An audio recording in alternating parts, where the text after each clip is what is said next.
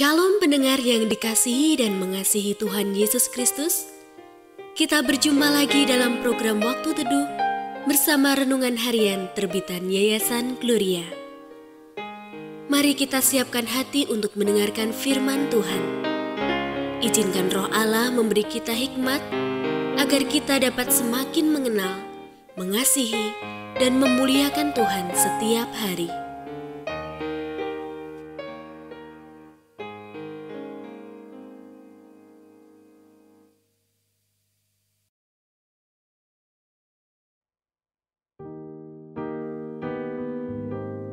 Bagian firman Tuhan yang akan kita baca hari ini adalah dari Hakim-Hakim pasal 11 ayat 1 sampai 11. Saya akan membacakan sebagian daripadanya. Beberapa waktu kemudian, Bani Amon berperang melawan orang Israel. Dan ketika Bani Amon itu berperang melawan orang Israel, pergilah para tua-tua Gilead menjemput Yefta dari tanah Top. Kata mereka kepada Yefta, "Mari, jadilah panglima kami, dan biarlah kita berperang melawan Bani Amon." Tetapi kata Yefta kepada para tua-tua Gilead itu, "Bukankah kamu sendiri membenci aku dan mengusir aku dari keluargaku?" Mengapa kamu datang sekarang kepadaku pada waktu kamu terdesak? Pendengar yang mengasihi Tuhan, ayat yang kita renungkan secara khusus hari ini adalah dari Hakim-Hakim pasal 11 ayat 7. Tetapi kata Yefta kepada para tua-tua Gilead itu, Bukankah kamu sendiri membenci aku dan mengusir aku dari keluargaku. Mengapa kamu datang sekarang kepadaku pada waktu kamu terdesak? Renungan hari ini berjudul Ketika Terdesak.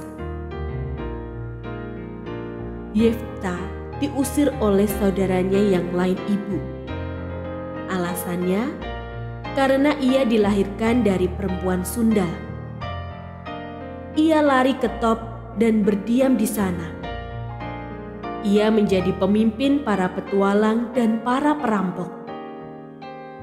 Ia dikenal sebagai pahlawan yang gagah perkasa. Saat Israel terancam dikalahkan oleh Bani Amon, Yefta pun dijemput agar sudi membela bangsa yang mengusirnya itu. Dengan syarat tertentu, ia pun bersedia kembali dan menjadi pahlawan bagi Israel. Sebagai manusia, terkadang kita memperlakukan sesama dengan cara yang sama. Kita menolak dan menghina orang lain karena keadaannya, menyingkirkan mereka demi keuntungan-keuntungan pribadi, melabel mereka dengan stigma negatif agar mereka terpuruk sehingga tak dapat menyaingi kita. Namun, terkadang orang-orang itulah yang menolong atau dipaksa menolong kita saat terdesak, seperti Yefta yang awalnya dibenci dan diusir, akhirnya dijemput kembali untuk menolong bangsanya.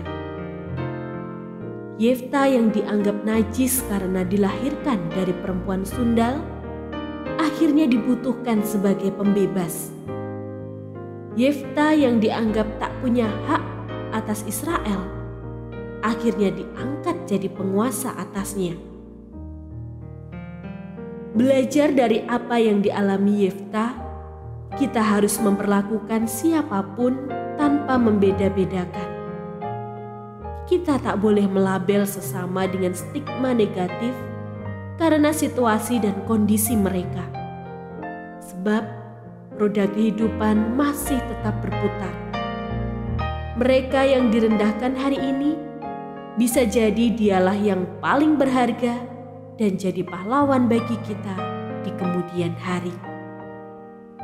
Perlakukanlah siapa pun dengan baik, karena akan tiba saatnya kita membutuhkan orang lain.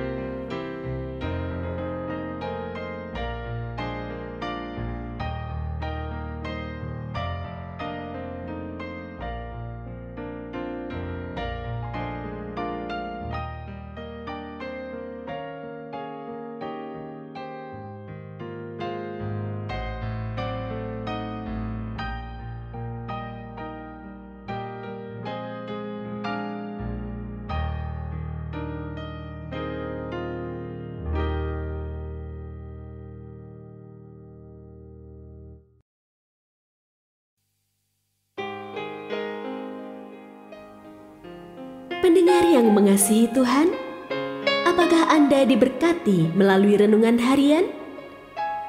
Jadilah berkat dengan mendukung pelayanan kami.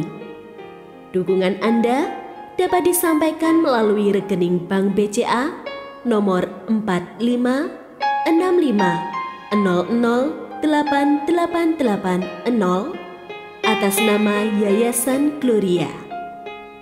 Informasi lebih lanjut mengenai renungan harian dapat dilihat di situs web kami renunganharian.net. Tuhan Yesus memberkati dan menjadikan Anda berkat di hari istimewa ini. Shalom.